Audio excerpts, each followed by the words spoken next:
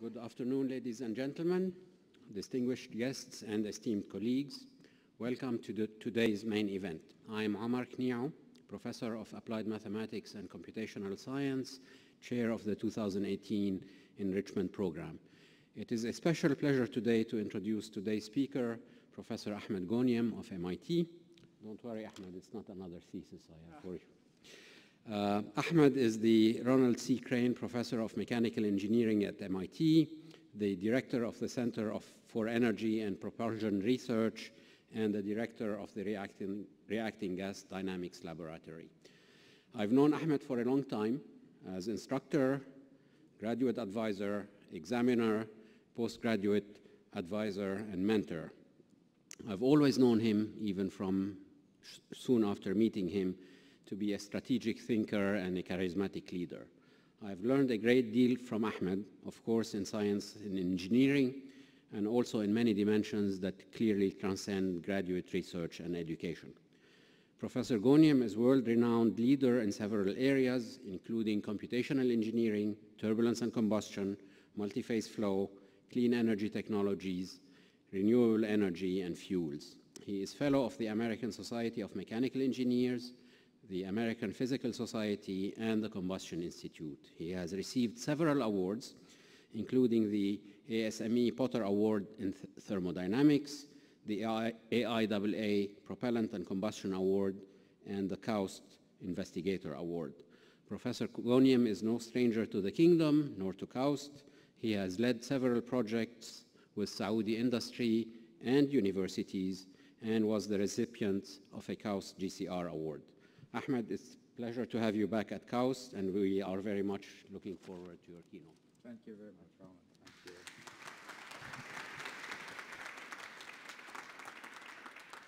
After this introduction, anything I say is downhill, right? well, uh, it's a pleasure to be back, and it's a pleasure to be introduced by Omar. I always tell him he was the first in the group, and he's still the best in the group. Um, I should start also by thanking both KAUST as well as, as uh, Professor Knio for inviting me to give this uh, lecture and to spend a couple of days back in KAUST. uh, KAUST is, as many of you know, uh, very uh, close and dear to my heart. I've been involved with it from the very beginning. I've known it as a concept. I've known it as a bunch of pictures. I've known it as a hole in the ground, and I have known it as a world-class university. and it's definitely nice to come back and see that what we thought should be 10 years ago is materializing. so if I can get my slide uh, on the big screen. All right, very good. so, uh, so this is just a, sort of a recap of my own personal interaction with the kingdom and, and the KAUST. Uh, my first visit here believe it or not, was in January 2007 as a small group of MIT faculty and students. We were invited by Aramco to come in and visit some of the facilities, including um, the very impressive development in Shaybah.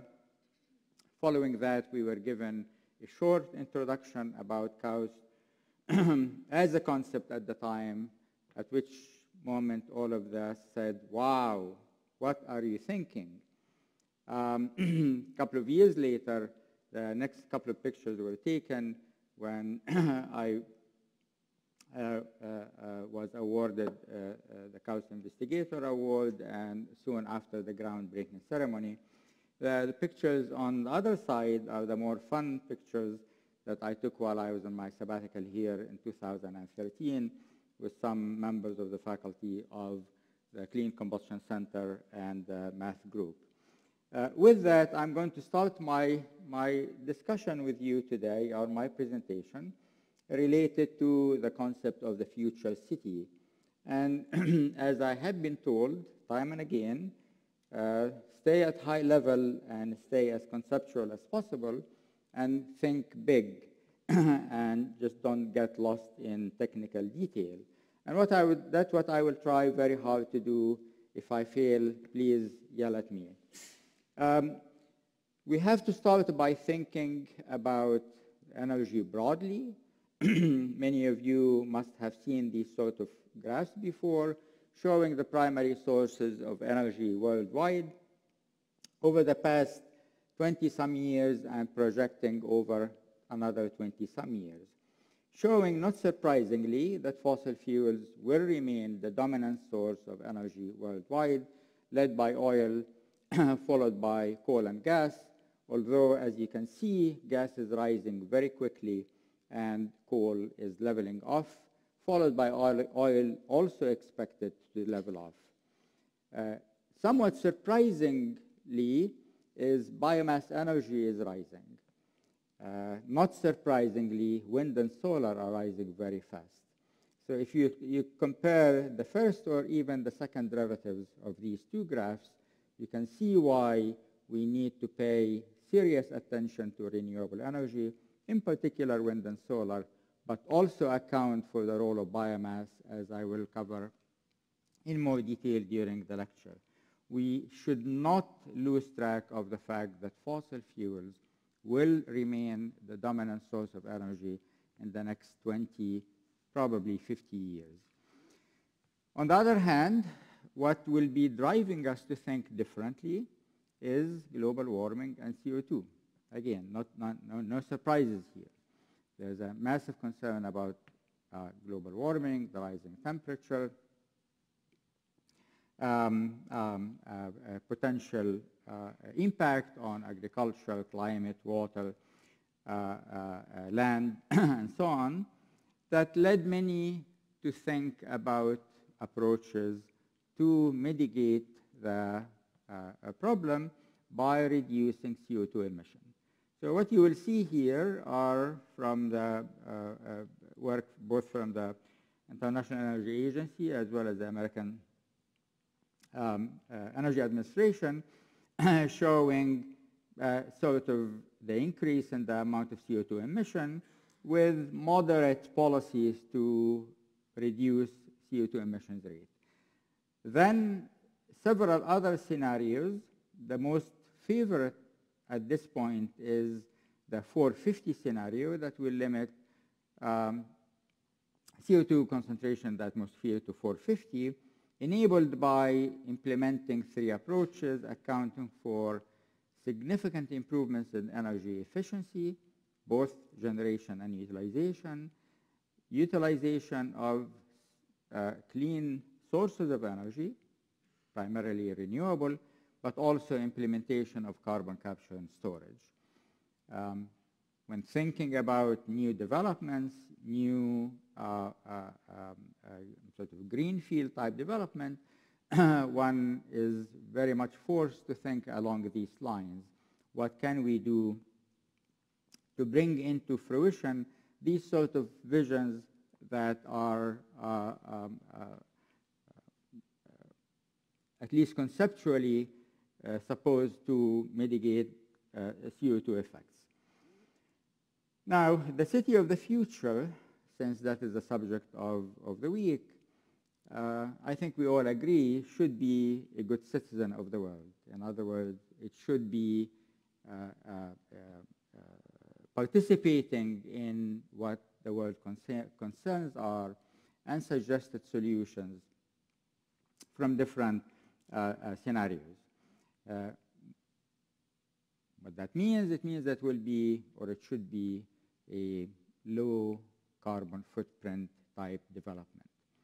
Uh, well, how do we do this? Well, they've already told us we need to uh, deploy renewables at scale, and we need to make sure that renewables are being deployed at scale effectively to also increase energy storage. And we'll talk about that a bit more. Uh, we need to focus on energy efficiency, renewables, as well as concepts related to hybridization, combining fossil and renewable in efficient ways, and expansion of storage. Uh, clearly, if fossil fuels are going to continue to be a dominant source of energy, then carbon capture and storage is going to have to play a role, probably a significant role. Clearly, an alternative zero carbon energy like nuclear is going to have to expand and with that alternative fuels for things like transportation and heating and so on will have to also be used. While thinking about it, one never can uh, forget the economic aspects of it. I believe that the economic aspects of it are very significant. And in fact, you can develop an economy around clean energy. And if you are a leader in the economy of clean energy, you capture a market that is undoubtedly going to grow. so I would like to very much emphasize the need for thinking about clean energy as an economic opportunity. Uh, clearly, clean energy is not going to happen by itself. It's going to only be based on sound science. So knowledge-based economy, supported by sound science, is going to have to lead the way for this development and implementation. And by saying something that's, uh, I'm sure, dear to your own hearts as well, that that will require more extensive research and development that, than we have been doing. All right, so I was asked to think about what the clean city of the future is going to do. Well, I'm not a, a, a developer, real estate developer or, or, or, otherwise, and I decided to think back of my own personal journey, how I developed my own uh, professional career. And I found that I tended to remain flexible in how I organize my research program to as much as I can address real life societal problems. So over, over the, the uh, uh, decades, if you like, I made shifts and expansion and contraction and accommodation to make sure that we stay relevant.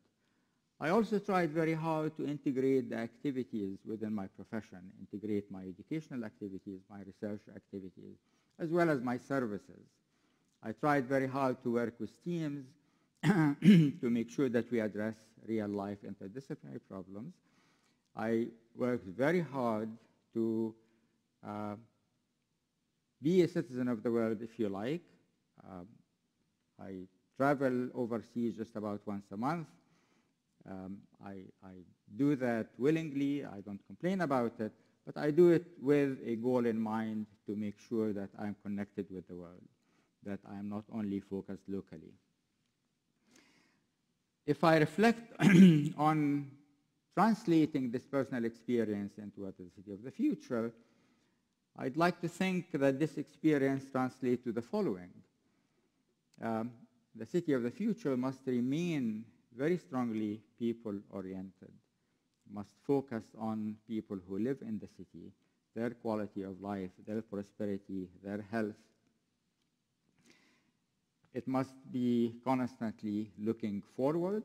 It must be thinking about new technologies, new developments, new knowledge. It must be flexible to accommodate and adapt to these changes. It must also be, on one hand, as much uh, independent as possible, as we will say in more detail, but it must also seek collaborations. Um, call that import and export. You must be constantly part of the world community. In order to succeed in doing this, and if we look around the world in places that succeeded in doing this, having a knowledge-based economy is a must having um, the, the, the, willingness as well as the facility to develop knowledge and apply it is absolutely at the heart of such a development. So, um, where does energy fit in the city of the future? It's everywhere and almost everything. If the city of the future needs lighting, cooling, communication, transportation, um, education, mobility, that's driven by energy. If the city of the future needs water, that's driven by energy. If it's desalination or reclamation, that's driven by energy. If it needs food, it needs water to irrigate its fields, that will be driven by energy. If it needs to dispose of its waste in an environmentally clean way, exactly the same issue. both as a, a, way to cleanly dispose of the waste as well as to potentially generate energy out of it. The city of the future, um, again, uh, uh, uh, using existing models worldwide, has its own local economy based on import knowledge developed in it and import, import knowledge that it imports in a way that integrates with its own need. That we call, as a, a word that has become very popular, the nexus. And the nexus here is really energy, water, food, and jobs. Uh, constantly we're talking about the energy, water, food nexus as a way of combining the needs and fulfilling the requirements. but I strongly believe that you need to connect that with jobs. You need to have uh, high quality jobs for people who live in the city in order to uh, uh, uh, uh, keep its prosperity. And if these jobs are connected with these needs and lead to a, a viable economy, uh, then we, we have, we've, we've covered Uh, quite a bit of grounds. All right, now let's talk about some more detail. Let's see whether we can add some more meat to the bone. so we've talked about clean energy, we've talked about energy needs, we've talked about connection between energy and water and food and, and jobs. If the city of the future is going to have access to plentiful of energy, as potentially areas shown in the map uh, do, what will it do with it? and here I'm going to try, again, at a very, very high level, think about the role of the different technologies that are either available currently or are being under development. How will it contribute to the city of the future as we're thinking about it? So we have a whole bunch of items. First, first one is using it efficiently. And if you use it efficiently, you will satisfy about 50% of the requirement of the International Energy Agency targets by um, mid-century. Uh, efficiency penetrates across everything, building efficiency, insulation, glass, windows, um, uh, efficient heating and cooling system, combined heat and power, combined cooling and power, efficient transportation, whether it's public transportation or self-driving transportation. I'm jumping outside my, my main theme, but it's very strongly believed that self-driving transportation will lead to significant reduction in energy used in transportation. We can talk about that later if there's interest as well as obviously hybridized power plant, uh, power, power uh, uh, trains. clearly efficient power plant, a plant that can convert your, your, your primary source of energy into whatever you need is part of the efficiency um, uh, uh, domain. So efficiency is at kind of at, at, the, at the very high level is what we're after and what we're hoping to gain about 50% of the target from. All right, the second one is clearly the city of the future has to have some level of independence and, and some level of resilience. What do I mean by that? Independence as much as possible in terms of generating your needs, whatever you need, you would like to generate it locally. Enormous amount of energy is wasted by transporting both goods and services across long distances. Of course, if you cannot do it, you have to import it. If you can do it locally, you're going to gain significant uh, efficiency. Resilience means, in part, being able to do things locally because your, your disasters that can, can interrupt transportation lines and so on are not going to, to hurt you, as well as having some redundancy, being able to switch one uh, source off and switch another source off. That typically leads people to think about distributed energy. one example for distributed energy is very exaggerated, but, but, but brings the point home, is if your home becomes an energy independent island. If you put enough PV units on, on the roof of your house and you're uh, uh, in a sunny area, you can generate enough energy, electricity for your own use. And if you have the right storage facility in your basement, you can store that energy that you can use later on when the sun is not out. You can store it in the form of, of batteries, and battery technology is growing very steadily and, and um, uh, getting more cheap. But you also you can store it by converting to something like hydrogen by splitting water and have a hydrogen tank in the basement. It's good to have different options. There's no way we're going to all live with one, one single type of technology. We're not all going to be driving electric cars. We're not all going to be driving Toyota Mirai, which is a hydrogen fuel cell car. And we're not going to all be driving combustion car using gasoline. We're going to be driving different uh, uh, uh, powertrains depending on our needs. And it's good to think of what is the uh, scheme, what is the system that will allow us to switch between these different options. So truly distributed energy clearly will allow some level of energy independence at sort of the house or, or, or uh, building uh, or, or small community level. Uh, it gives you a chance to store your, your own energy, but it also gives you a chance, as happens in many countries now, to sell back to the grid. If you have excess energy beyond your need, you can always sell it back to the grid and make some money out of it. Clearly, that's not only uh, uh, expected to happen or should happen at the single house level, but it can happen at a city level or a commu large community level. Same scheme.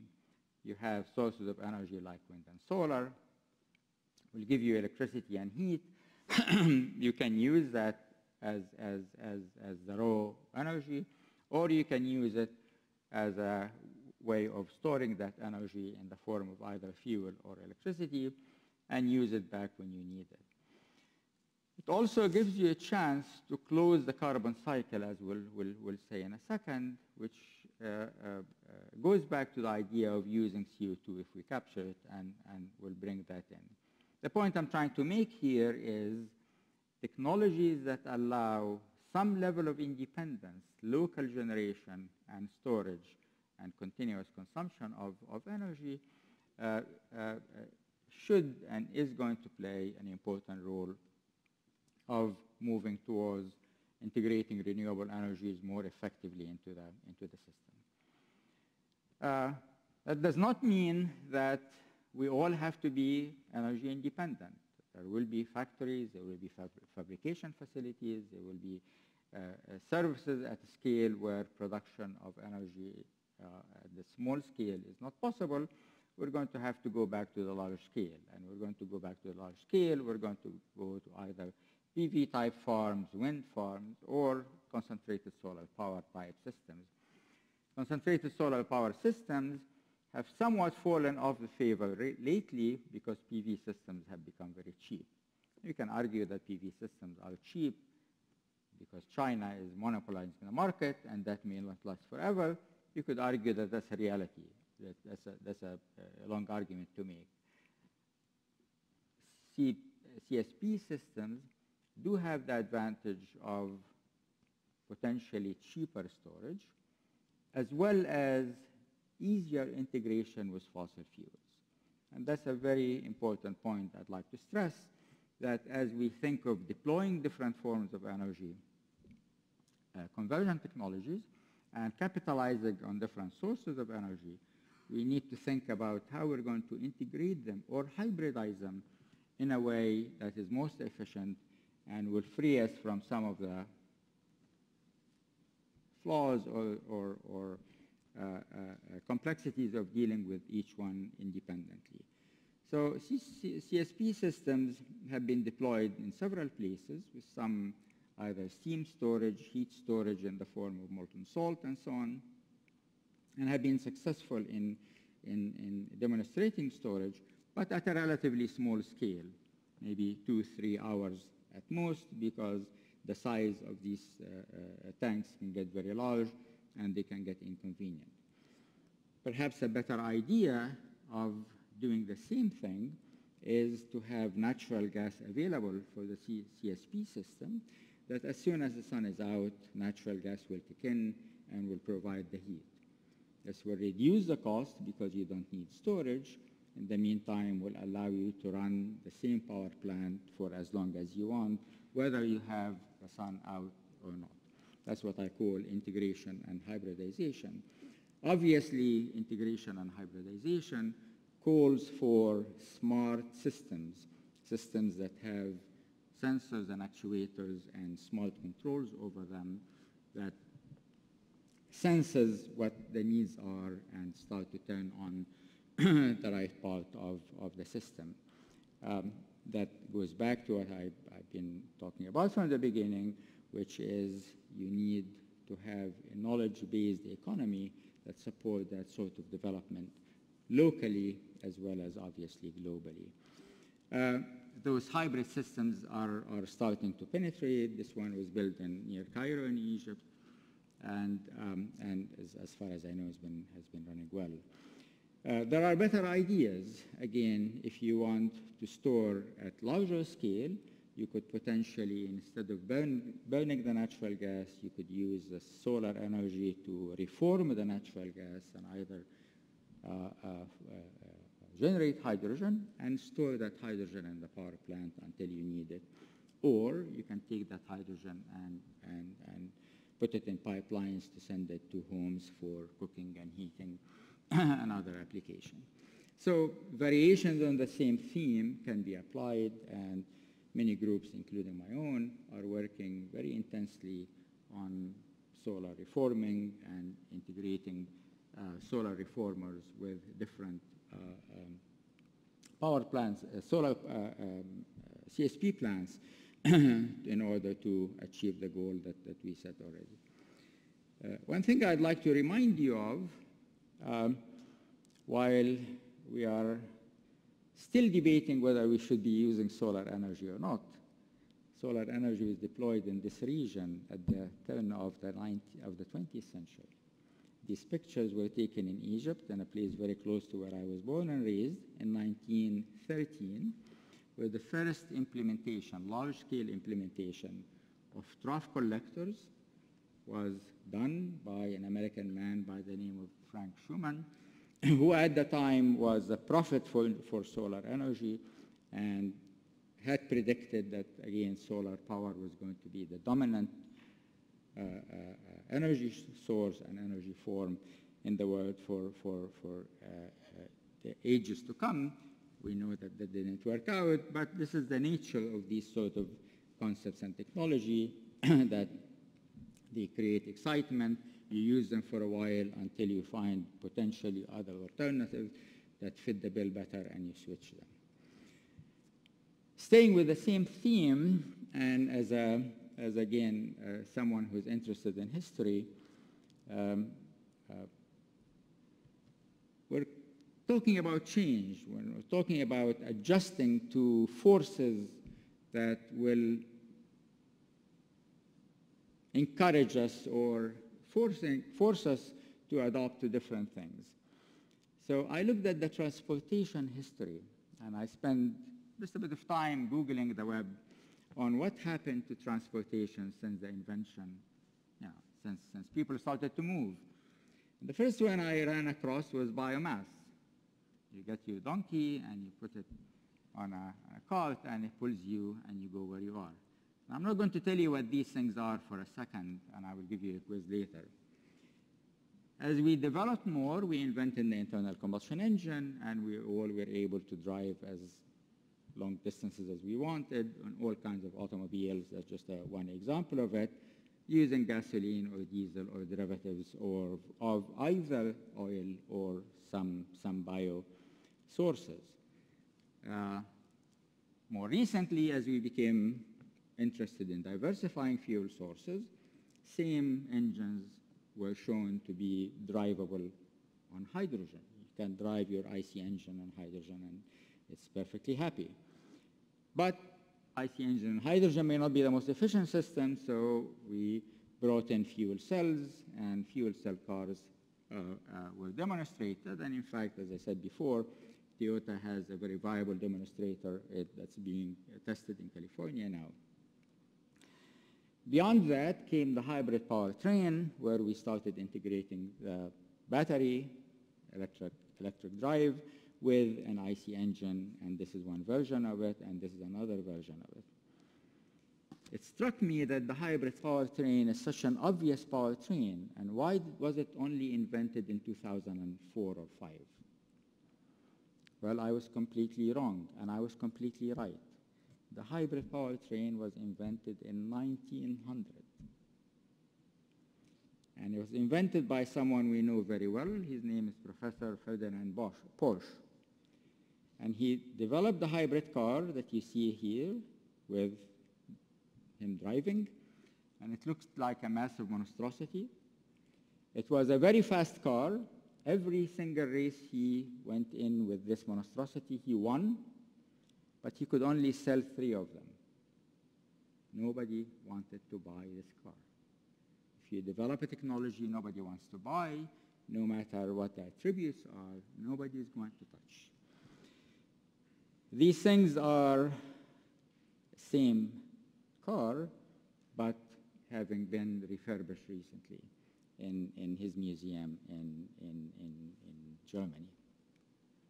And in fact, this is really is the most advanced hybrid train you can find with motors built in the wheel. So Ferdinand Porsche, not only he designed the 911 that we all drool over, but he was also an excellent engineer, knowing that you needed to integrate a motor with the wheel to get the most maximum efficiency. But Model is also Uh, I'm sorry, uh, but invention is also driven by need very, very uh, uh um, uh, strongly. And people drove cars on coal or biomass during World War when they could not find oil. So this is a car that was driven in Switzerland with a gasifier sitting in the back with wood being gasified and this pumped into the car to drive the engine.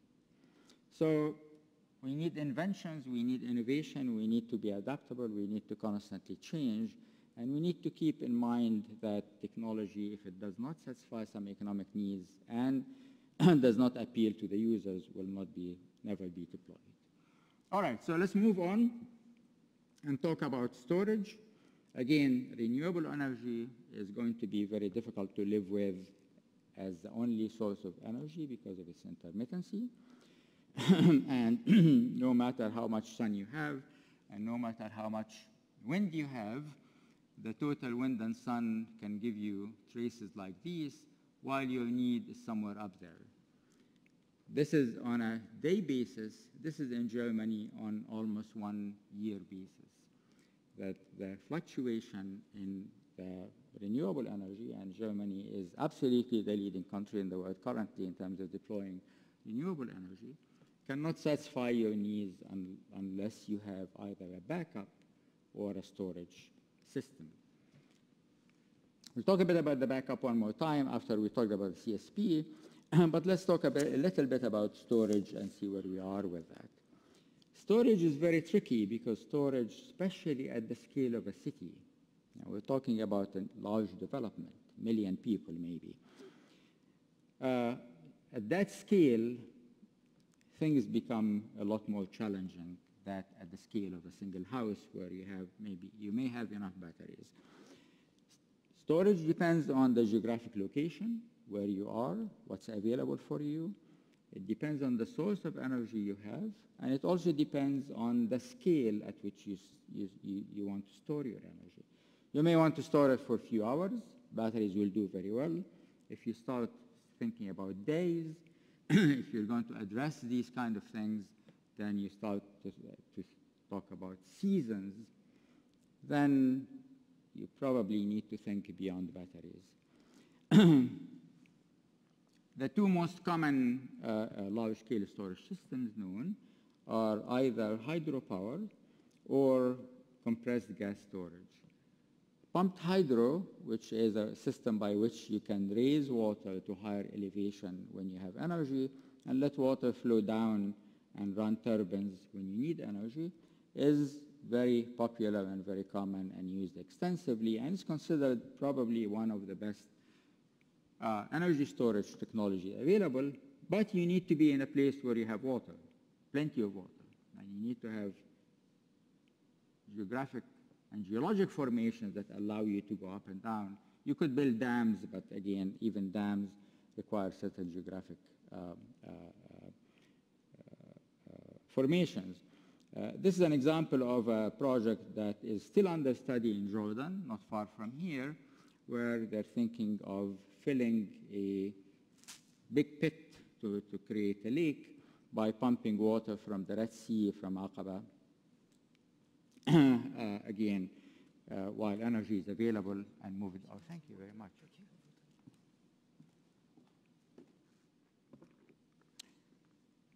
I spent a few days in Morocco before coming here visiting the University of uh, King Mohammed VI. And uh, Morocco was beautiful, but was too beautiful for me. It has so many wildflowers because of the spring, and I have terrible allergies since then. so I apologize for my dry throat. Um, so that, that project in, in, in Jordan is, again, following the same principle. It was trying to create a, a large-scale energy storage facility that can help them with uh, intermittency issues deploying uh, solar energy in that area. Um, the other two that I'm showing down here are all uh, compressed air, where you use, again, compressors to send air downstream, down, down um, under, underground in big formations where air can be stored and then be used later to run turbines. There are, again, depending on how willing you are to hybridize these systems, these systems can prove to uh, provide significant storage. If, for instance, you're willing to hybridize air storage with natural gas, if it's just a matter of taking the air back under pressure to run turbine, the, the, the storage capacity can, goes down significantly. Ultimately, chemical energy density is absolutely the highest we know, next only to nuclear. We're not going to store energy in nuclear form, I can assure you that. But you can store energy in chemical form, either in storing natural gas, as they're doing now in Germany, or storing synthetic gas. And synthetic gas can be produced, obviously, by electricity from renewables or by reforming natural gas, again, using heat from renewables. That's a uh, a scale that you can go up as much as you want. Uh, you can store gas for, for years. Uh, obviously, batteries are going to continue to play a very important role. We cannot give a talk on energy without mentioning Elon Musk and Tesla. And Tesla has certainly been a leading company in developing batteries for storage, both at the home level as well as recently at a bit of an intermediate scale level, they developed a system for Australia that is really remarkable in, in, in terms of uh, its advancement. All right, now let's talk about backup. Um, uh, since renewable are intermittent and we cannot only use renewable all the time, backup can be fossil fuels. Germany still generates 40% of its energy from coal. That's a secret that no, not too many people know, despite, despite the enormous deployment of, of, of renewables in Germany. Why? Because you need a backup. If sun and wind is not available, you're going to have to run your fossil plants. That guarantees that fossil fuels will remain for a long time as a, an important energy source. But we can also think about closing the carbon cycle. We can also think about capturing some of the CO2, the exhaust gases, the CO2 and water, and put them through systems that with external energy can bring them back into fuel again. So again, that's supplying energy to the products of combustion of natural gas to break it back up into a fuel. then use that fuel in the power plant. So this way, you're sort of closing the carbon cycle. you're not generating as much CO2 as you would have otherwise, since you're taking some of that CO2 coming out of the plant and using it to generate fuel.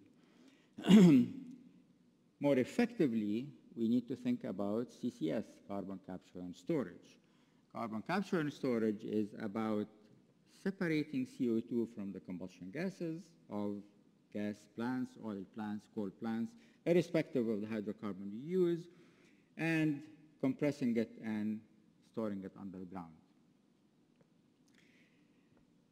By itself, it's a, it's a complex technology, There's no question about it. And it's a technology that, that, that adds to the price of electricity, that adds to the price of the plant. Wouldn't it be nice if that technology that adds to the price of the plant can pay for itself somehow? The answer to that is mostly yes.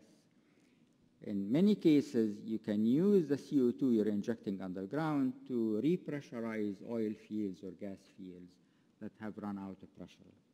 And by doing that, you do what's known as enhanced oil recovery or enhanced gas recovery, by which, again, the CO2 you put underground pushes some of the oil and gas available uh, up. That generates fossil fuels indeed, but in the meantime, we are replacing the, the fuel that's coming out and it's CO2 by CO2 that we put underground. This is not science fiction. This is technology that's been applied for the past 20, 25 years. Not far from here. Well, I'm not in Morocco. I'm sorry. I gave that talk in Morocco also. That's in Algeria. There's a major, major uh, Ain Salah uh, gas plant owned by BP that uses exactly this technology, that they inject CO2 underground to pressurize the gas field and produce more gas. You can tell definitely that's Algeria, right? Um, there are similar plants in Malaysia. There's a plant in Norway. And this map shows dots for different areas where these sort of plants have either been considered or under consideration or implemented. While doing all of this, it's hopefully, I, I, I, had said that before, but I will say it again, you must consider the economics. You must consider the uh, uh, price added or price, price assigned to each one of these technologies. There's a complex chart shows the levelized cost of electricity from different sources of energy using different technologies. you need not look at the detail. You need just to see that this is uh, expected prices for natural gas plant with carbon capture and storage as compared to these. So there's about 20 to 30 percent increase in the price, as I mentioned before. You must keep in mind that this increase can indeed hurt the value of the economy as you compare it with things like geothermal energy, wind energy, or PV energy. okay? On the other hand, keep in mind that wind and PV have, do not have the storage price built in them, while the CCS plant can run 24 hours a day. so while it seems to be more expensive, it may not be as expensive as we think, since compared to other zero carbon energy, it, it, it has the edge of no need for storage. Uh, this is another uh, thing along the same line that, uh, again, uh, uh, in the US, between the US and Canada, there are several uh, example, this one particular example, a plant in the North Dakota that actually burns coal and pipes the CO2 over to Canada to help extra production of oil from one of the Canadian oil fields. This is a system of pipelines that move CO2 around in the US, mainly taking CO2, believe it or not, from underground to repressurize Texas oil fields to produce more electricity. There's been more talk recently about using CO2 both for the production of fuel, and I mentioned that, as well as using it in production of soda. Anytime you drink soda, you are injecting, ingesting some CO2 that was produced somewhere, potentially in cement as well as other building material. All right, let's move on to uh, a very important point, which is developing local economy. Any of these technologies is not going to happen by itself. You can import it or you can produce it locally. If you want to produce it locally, you have to get yourself up to speed with the state-of-the-art science and engineering. So these are just some, some examples I pulled without any particular uh, uh, reason, except to say that technology is being developed for deployment, and if the deployment is going to happen economically, one must think of also participating in the manufacturing and the development of that technology. So the city of the future should not be only a user of new technology for clean energy, it should be also a producer. Let me switch to another subject that uh, may every once in a while escape our attention, which is biomass. Um, not too many know, but 10% of the energy produced worldwide comes from biomass. That's a very surprising figure. and I'm talking about primary energy. And the reason for doing that, for, for that is because there are about 2 billion people around the world that who do not have access to any other form of energy. It's uh, hard to say that in the 21st century, but that's true. Uh, Southeast Asia and Africa in particular is the rural communities there, and there are many of them are primarily, primarily dependent on biomass. On the other hand, people who study the economics of using renewable energy or any other form of energy to look at the cost always associate certain technology with reduction of cost, cost and other technology with increase in cost. And biomass always comes in in the reduction of cost because biomass by definition is almost a zero energy source depending on how you use it, zero CO2 source, depending on how you use it. And it can help you with a reduction of CO2, again, if you use it correctly. Now, I'm not going to get a, into a lecture on biomass. I'll just say that uh, the current practices of using biomass in rural community is terrible. It produces enormous, enormous air quality issues in places like India. If you go to India, in particular northern India, in uh, um, November, December, early January, you get into what the New York Times calls the gas chamber. and that happens because the agricultural communities around it burn the biomass in open field and, and produces tons of soot and unburned hydrocarbon. There are many, many ways of converting biomass to good fuels. Some of them produce solid fuels called torrefaction or producing biochar. Some of them produces gaseous fuels either by anaerobic digestion or gasification and some of them produce liquid fuel by flash pyrolysis. Uh, we, my group, and others have been very interested in the solid fuel production because solid fuels are much easier to transport and store. In other words, the biochar. And we've had a couple of several students actually working on developing both the thermochemistry, the knowledge base for how you convert biomass into solid fuel, and benchtop scale reactors to perform this function and is currently being scaled up into sort of pilot scale and we're hoping to uh, demonstrate the effectiveness of that in, in India as, as a first application and potentially second in Egypt because Egypt has a very, very similar problem that's actually from the leading newspaper in Egypt complaining about the same issue and potentially again in Kenya. Turns out that biochar is also a good soil enhancer, so it has, does have that added capability. Same thing can be said about biomass gasification, production of gas from biomass, as a fuel that's easy to use and clean and easy, easy to, uh, to transport. Again, there's an enormous opportunity to, to, to, to, to develop knowledge, science, engineering, technology around gasification of biomass to go from pictures like these where burning is, is pretty, pretty nasty into a much cleaner system. I should also talk about waste disposal. Uh, waste disposal is a big, massive problem for many cities.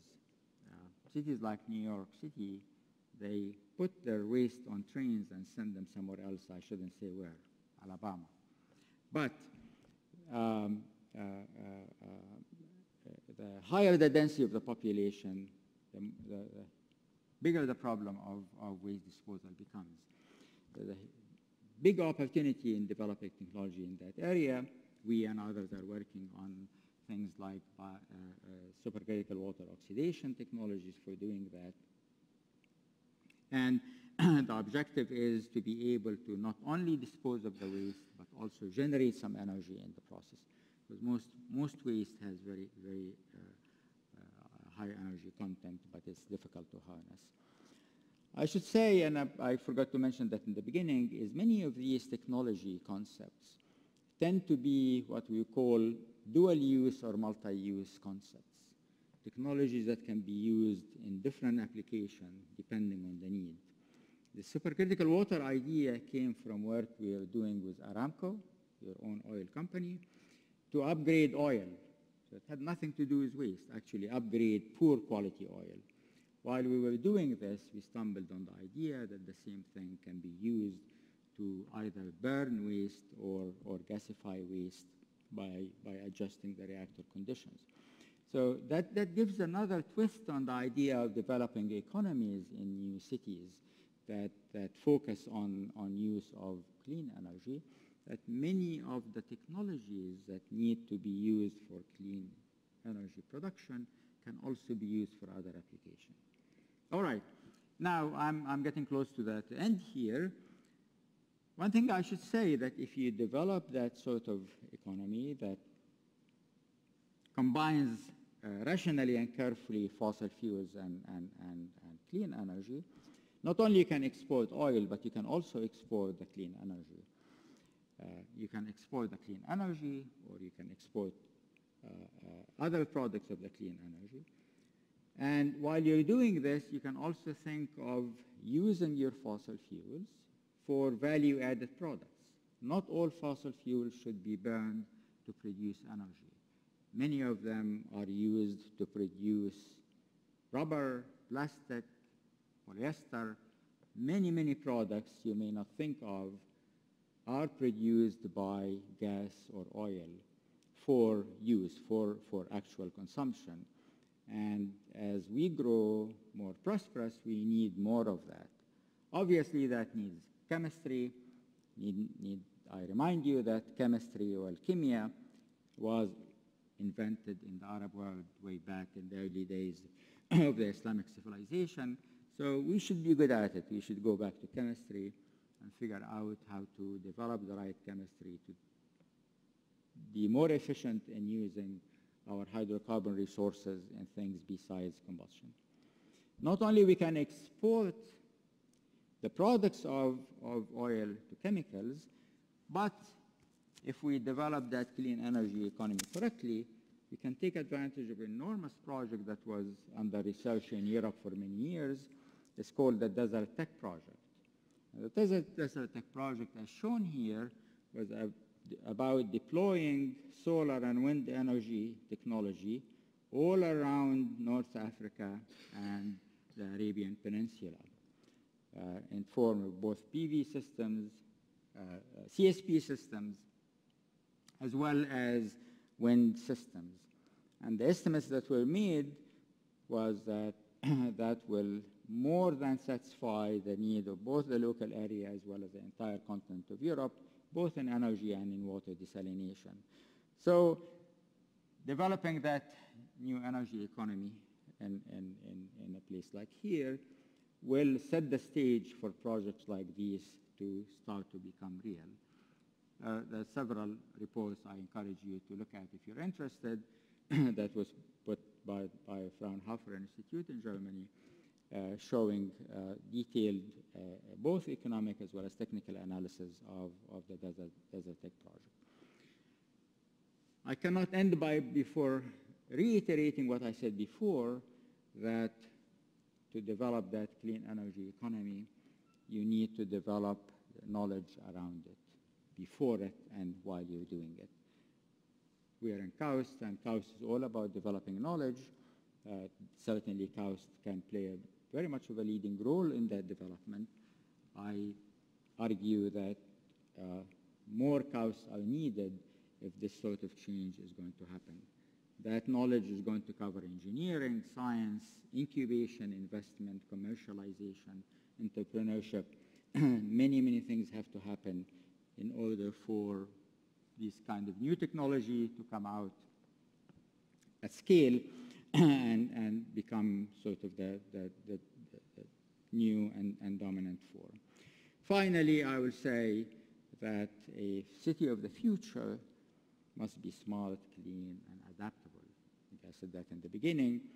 the communication infrastructure that allows things like like self-driving cars and so on, allowing switching from different sources of energy as, as, as uh, different sources become available, integrating them in ways that, that uh, uh, takes advantage of the maximum efficiency, integrating energy production with water desalination, with irrigation as needed, all of that is important. I shouldn't finish without saying anything about nuclear energy. Uh, I strongly believe, although I'm not a nuclear scientist by any stretch of imagination, that nuclear energy is going to have to continue to play a very important role in the low carbon mix of energy. nuclear energy is the easiest energy to scale. There are issues and there are problems, and we can talk about that, but it's nothing, nothing beyond our, our engineering capability. There are new technologies under development now. There are new companies that actually leading these, developing small-scale modular power plants, much smaller than they used to be, that can be built in factories and moved over on, on, on trucks to where they can get assembled. They reduce the risk, both accident risk and cost significantly. There are also very important and interesting technologies being developed not only to use nuclear energy for, for electricity production, but also for fuels production, as well as chemicals. Anytime you have CO2 and water, you can produce all kinds of chemicals if you're interested. All right, with that, I go back to my, my original theme that uh, it's, it's my, my strong belief that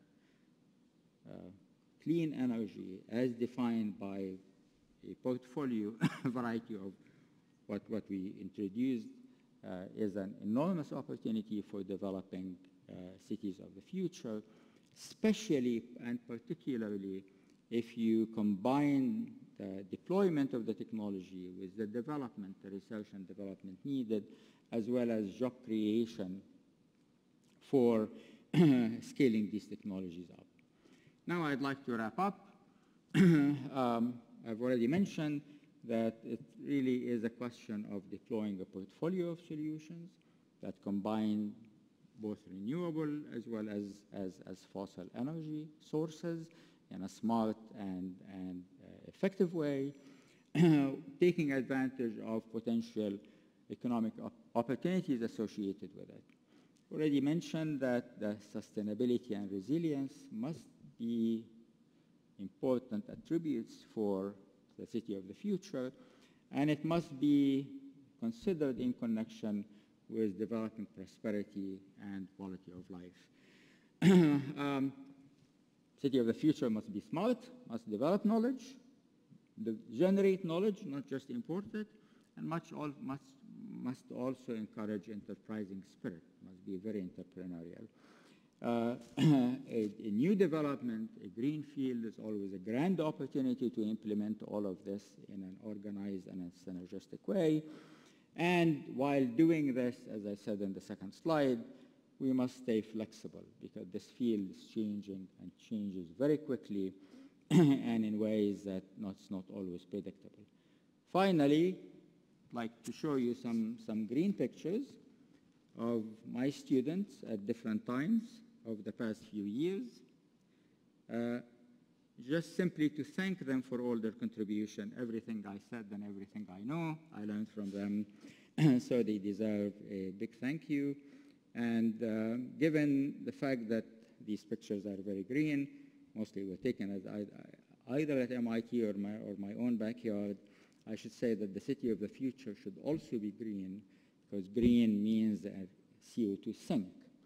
I talked all about the sources and reducing the sources, but also accounting for the fact that there are sinks of CO2, CO2 like forests and, and parks and greeneries. I believe that the city of the future must have as many of those as possible. With that, I thank you for your attention, and I'll be happy to answer any questions.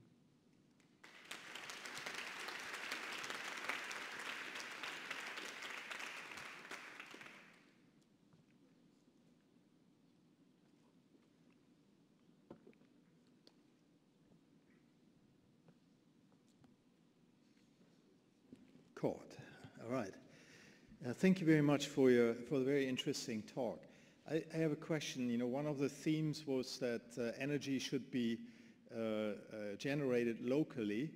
Uh, yet, like for example, geothermal energy, which is also very renewable energy source, uh, hardly ever features.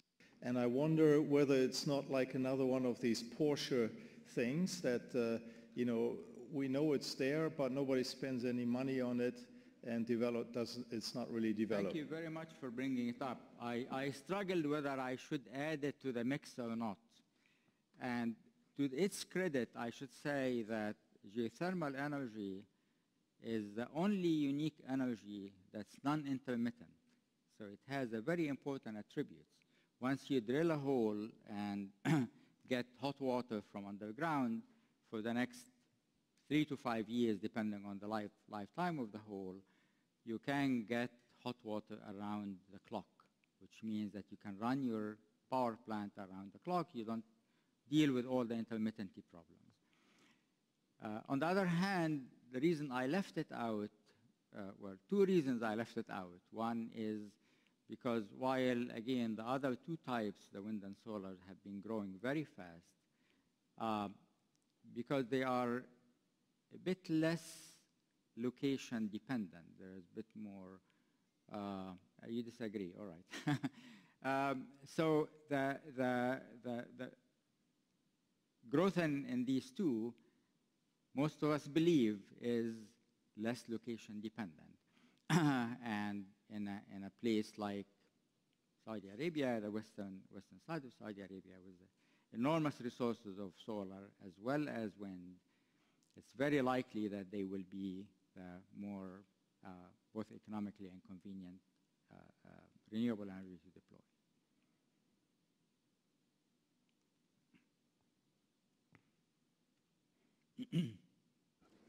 Clearly, new cities have an advantage because they don't have existing infrastructure they have to replace. But if you look at existing cities, do you have examples of cities that are making good choices in converting their power as, as sort of role models for the world? Absolutely. Um, I, I, one, one thing that comes to mind is San Diego. San Diego has been working very hard to um, develop California largely, but San Diego as one city, since you asked for a city, to develop renewable energy fields outside of its own uh, boundaries and pipe that energy back, electricity back to the city. While they're doing this, they ran into the problem of the intermittency as well as uh, storage. So while they're thinking about deploying the um, solar and, and, and wind energy outside, they're also thinking of building a pumped hydropower plant. So they went out, I forget exactly the location, I looked at it before, but I don't remember it now, somewhere um, east of San Diego. Again, there is geologic formation that will allow them to fill in a big hole in the ground that looks like a lake and use it as a pumped hydro system. so cities that have already developed and are, are basically um, you know, reliant on, uh, on a grid are now looking at supplying the grid with other sources of energy. But when they think about the scale, they're also thinking about the storage set of issues associated with it.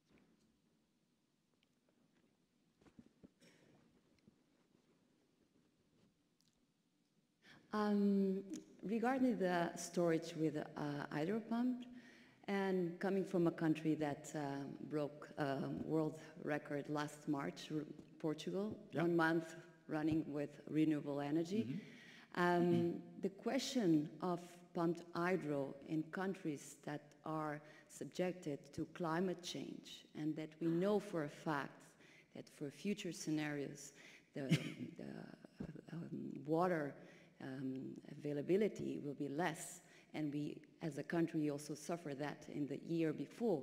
So this is also caused uh, a future challenge for managing energy. Absolutely. That's, that's the reason why I mentioned uh, pumped hydro as an existing sim relatively simple available technology.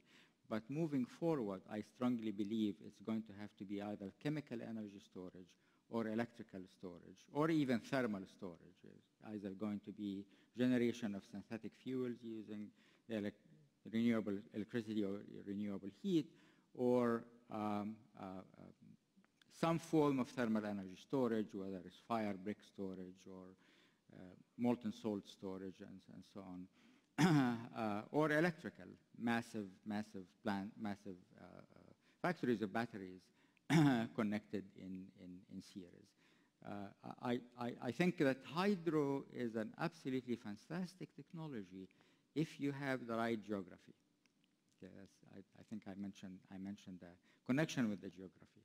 And even if you have the right geography, it's not always obvious that hydro is the best solution because hydro plants also generate their own environment around them and can impact the local ecology, not always in the positive way. And there are several examples of that. Uh, also, big hydro plants can cause all kinds of political problems. I don't know whether you're aware of the hydro plant being built in, in Ethiopia and the problem with, with the Nile water in Egypt and so on. So hydro plants and pumped hydro systems are ideal if you have the right geography and, and, and, and control over water resources, but are not the solution for everyone, especially in a desert environment. And I did show Jordan's project, which is under consideration. It's not a simple and easy project, but it's, it's what they figured might be the best, uh, might be the best for their own application.